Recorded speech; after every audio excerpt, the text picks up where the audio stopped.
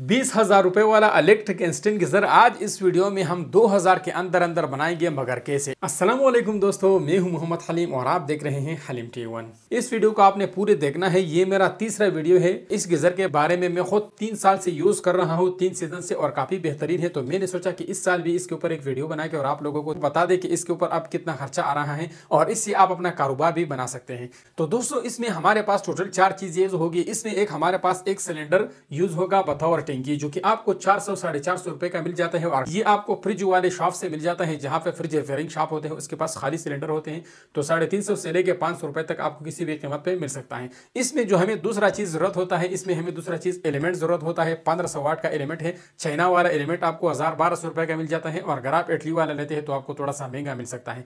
तो मैंने खुद तीन साल से चाइना वाला यूज़ किया है, इसलिए मैं इसमें चाइना वाला लगा रहा हूँ। और इसके अलावा आपको एक सौ इंच की साकट की ज़रूरत पड़ेगी, जो कि आपने इस एलिमेंट को इसमें लगाने के लिए यूज़ करना है। अगर आपका ये एलिमेंट जल जाए तो आप इसको आसानी से कोट सको। इसके अलावा जो चौथा चीज़ है, वो हमें आधी इंच का पाइप चाहिए, जो कि कम से कम दो फुट हो। तो ये चार चीज़ें हमें ज़रूरत पड़ती है, और ये हमें टोटल दो हज़ार के अंदर अंदर मिल जाती है। तो चलिए दोस्तों, इस वीडियो को शुरू करते हैं। तो दोस्तों, इस गीजर को बनाने के लिए हमने सबसे पहला काम इस सिलेंडर से ये हैंडल हटा देना है, और इससे ये वाल खोल देना है। तो दोस्तों, इसको गीजर बनाने से पहले आप लोगों ने इस सिलेंडर को अंदर कलर कर देना है। पहले आपने पाइप वेल्ड कर देना है। वेल्डिंग करने के बाद आपने इसमें पेंट डाल के और इसको एक दिन छोड़ देना है।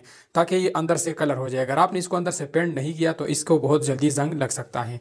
तो सबसे पहले मैं इससे ये वाल खोल लेता हूँ। वाल खोलने के बाद अब हमने इससे ऊपर वाला ये हैंडल हटा देना है। इसको मैं साइड से इस तरह चीनी से मार के इसको बाहर तो गाइस हैंडल जो है हट गए हैं। तो दोस्तों, यहाँ पे सेंटर में मैं एक सुराख करूँगा और इसमें ये सौ इंच का साकट यहाँ पे वेल्ड करूँगा और ये वाला एलिमेंट राड जो है, इसको हम इसमें यहाँ पे नीचे से लगाएँगे। और इसके बाद यहाँ पे जो है, हमने इसमें दो पाइप लगाने हैं। तो मैंने जैसे कि आप लोगों को पहले बताया कि इसमें जो है हमें दो फुट पाइप की ज़रूरत पड़ेगी। तो ये एक डेढ़ फुट का पाइप मैंने काट दिया है और एक आधे फुट का पाइप काट दिया है। जो लंबा पाइप है, इसको हमने गर्म पानी के लिए इस्तेमाल करना है और जो छोटा पाइप है, इसको हमने ठंडे पानी के लिए इस्तेमाल करना है। एक पाइप जो है हमने गिजर के अंदर करके लगाना है और एक को जो है हमने यहाँ पे इस तरह डायरेक्ट वेड़ करना है। तो यह लंबा पाइप हमने इसलिए लगाना है कि यहाँ से ठंडा पानी जब इसमें अंदर जाएगा तो ये तब तक आउटपुट नहीं होगा जब तक गिजर फुल नहीं होगा। जब गिजर फुल होगा तो उसके बाद आउटपुट आना शुरू हो जाएगा। तो इससे ये होगा कि हमारा जो एलिमेंट है, वो खाली नहीं चलेगा। और ये जो ठंडा वाला पाइप है, इसके ऊपर हम नॉन रिटर्न सेफ्टी वाल भी लगाएँगे। उसके बगैर भी जो है ये गिजर जल सकता है। तो ये हंड्रेड परसेंट सेफ़ है क्योंकि मैं तीन साल से जो है इसको इस्तेमाल कर रहा हूँ। तो मैंने सोचा कि इस साल भी आप लोगों को एस्टिमेट बना के दिखाओ कि कितने का जो है तैयार होगा। तो अभी जो है मैं इसमें क्या करता हूँ कि यहाँ पे एक सुराख करता हूँ और एक इधर राइट वाली साइड पे और एक लेफ़्ट वाली साइड ये दो सुराख पाइप के लिए और सेंटर वाला सुराख राट के लिए। तो चलिए इसको मैं जल्दी जल्दी कर लेता हूँ। तो दोस्तों, यहाँ पे तीन सुराखें हो गई है और एक जो है हम यहाँ पे बड़ा पाइप लगा लेते हैं और यहाँ पे हम सौ इंच का साकट लगा लेते हैं और यहाँ पे छोटा पाइप लगा के इसको जल्दी जल्दी वेल्ड कर लेते हैं। तो इस तरीके से आप किसी भी वेल्डर से ये काम करवा सकते हैं। तो दोस्तों, इस तरीके से आपने दोनों पाइप और साकट इसके साथ वेट कर देना है और इसके बाद आपने इसको प्रेशर देके इसमें लीकेज चेक कर देना है। अगर इसमें लीकेज न हुआ तो लीकेज न होने के बाद आपने इसमें अंदर आयल फ़ैन डाल के और इसको अंदर से सारा कलर कर देना है ताकि आपका जो गिजर है वो अंदर से जंग न हो, क्योंकि ये जो सिलेंडर है, इसको अगर आप अंदर से पेंट नहीं करते तो इसका गिजर भी आपका नहीं बनता, क्योंकि इसमें जो पानी है वो जंग आता रहता है और इसका जंग कभी भी खत्म नहीं हो सकता। तो चलिए मैं इसका लीकेज चेक कर लेता हूँ और फिर इसमें पेंट डालने का भी तरीका आप लोगों को बता देता हूँ। तो अलहमदिल्ला सारी चीज़ें कंप्लीट हो गई। है, आप लोग देख सकते हैं, यहाँ पे साकट और पाइप सारे वेल्ड हो गए हैं और यहाँ पे ये मैंने एक पथरी वेल्ड किया है और इसके ज़रिए जो है हम अपने गिज़र को पीछे दीवार के साथ टांगेंगे। तो अब फाइनली हमने इसमें जो है रंग करना है। ये आप काम आप लोगों ने लाजमी करना है। रंग के बगैर जो है अगर आप इसको इस्तेमाल करोगे तो इसका कोई फ़ायदा नहीं है।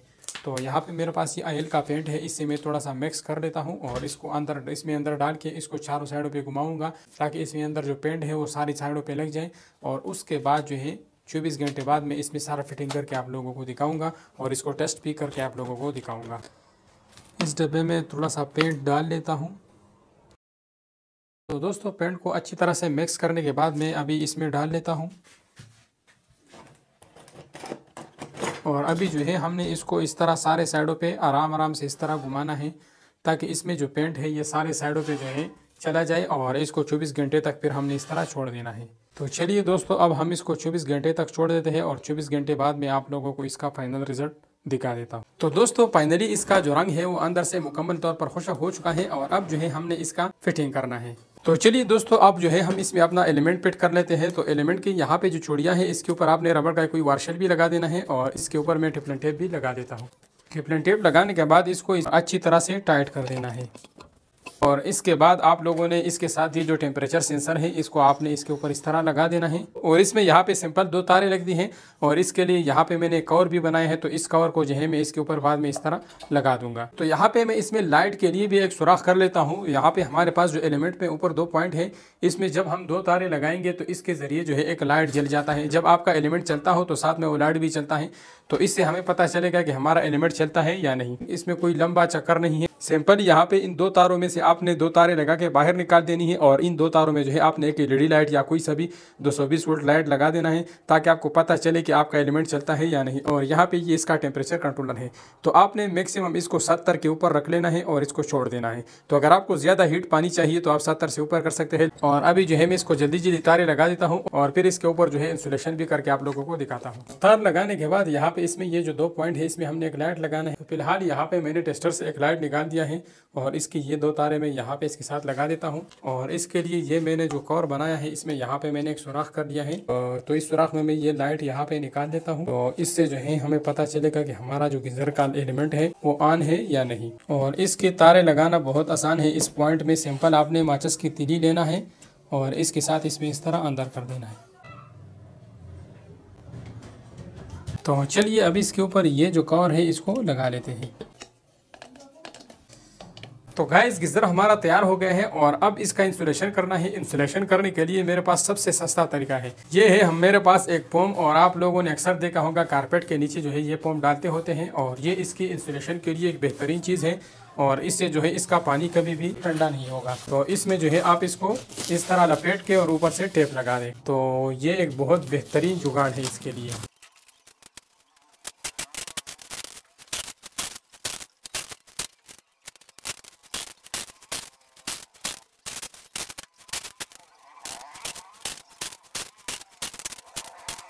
तो गैस गिजर हमारा कवर हो गया है नीचे वाला साइड और ऊपर वाला साइड थोड़ा सा रहता है। इस कड़ी में बाद में पीस लगा दूँगा क्योंकि फ़िलहाल मेरे पास नहीं है। आप लोग इसी तरह इसको कवर कर सकते हैं और अभी जो है मैं इसको टेस्ट कर लेता हूँ। टेस्ट करने से पहले मैं आप लोगों को जैसे शोरूम में बताया कि इसमें जो है आप लोगों ने नॉन रिटर्न सेफ्टी वाल लाजमी लगा देना है। ठंडे वाली, पानी वाली साइड पे। तो यहाँ पे आप लोग जब ये लगाओगे तो इसमें यह होगा कि अगर आपकी गीज़र में कोई भी गैस बनता है तो उसका जो प्रेशर है वो यहाँ से रिलीज़ होगा।